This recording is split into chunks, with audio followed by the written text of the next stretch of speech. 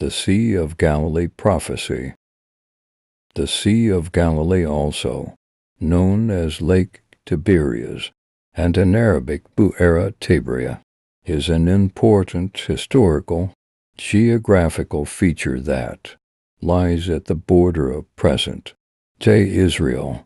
It is situated in the north of Israel at the junction of four countries, namely Lebanon, Syria, Jordan, and Israel. It is one of the largest freshwater lakes, and also as one of lowest beneath the sea level freshwater lake on Earth. Its maximum depth is approximately 43 meters. It is about 13 miles 21 kilometers long and 8 miles 13 kilometers wide. The lake is important to Judaism because some of the oldest synagogues found were situated on the towns that surround the lake. It is important to Christianity because this was where most of Jesus' ministry occurred, including some of his miracles. The lake is also inscribed in the Bible. However, it is the topic of utmost relevance today because it has a special significance in Islamic eschatology.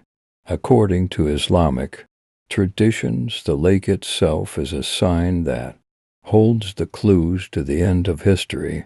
There are two traditions in this regards. In the first tradition, it is said that when the force is Yaj, M-A-J-O-J, who are children of Adam, i.e. Homo sapiens, will arrive at the lake their front.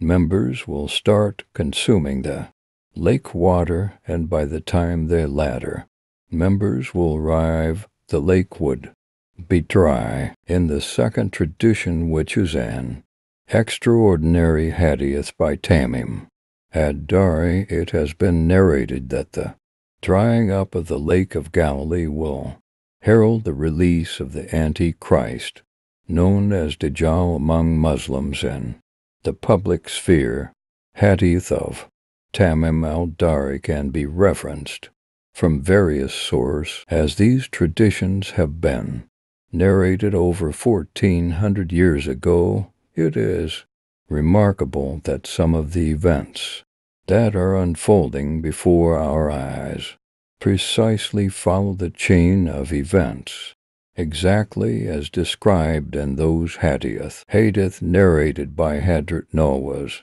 Ibn Saman R.A. Rasulullah, sallallahu alayhi wasallam is reported to have said, Then Yajuj and Majuj Gog and Magog will emerge and surge forth in all their fury, when those from among them who constitute the first part of their army passed the lake of Tiberias Sea of Galilee, which is in northern Palestine, they will drink up all the water of that lake, and by the time those that constitute the latter part of that same army pass the lake, they will say there used to be water here long ago, moving on to present day water from the Sea of Galilee is being used as a freshwater supply reservoir for Israel.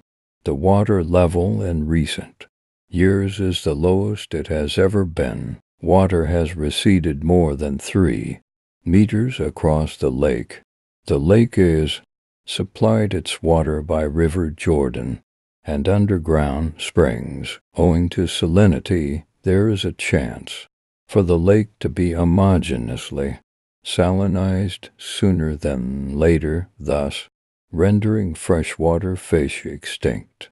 The fisheries that used to be a thriving industry has nearly collapsed. Several scholars in the Muslim world are observing the lake's water levels closely.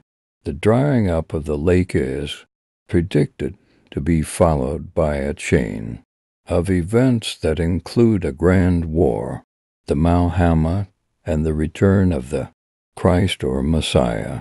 Holy Prophet Hadrat, Muhammad Sallallahu Ilahi, Walehi Vasalam gave us several prophecies to recognize this era, and it is therefore important to look at the current events and the march of humanity in light of these recorded traditions. It has to be remembered that, according to Islamic eschatology, the end of times and end of history are two separate events. The former refers to the doomsday, while the latter marks the era when good will eventually triumph evil. Imran Hosein opines that the Islamic traditions, particularly regarding to the end of history, have to be understood in the light of Quran and subjects like international relations, modern history, modern financial systems, and modern civilization all have to be studied in conjunction with the Quran for valid analysis. For now, the lake is a few years away from drying up. However, with the present level of unrest in the region, circumstances can be triggered that accelerate depletion of this freshwater resource that nestles at the borders of four countries. The unleashing of forces of darkness is the stuff of entertainment in the popular culture. If the Malhama breaks out as predicted, then how prepared are we? Would we be on the right side of history? The Sea of Galilee is the water clock for Muslims, and water is running out. Allah knows the best. Thanks for your time and attention, please. Keep supporting by watching my channel Chemult Lahore.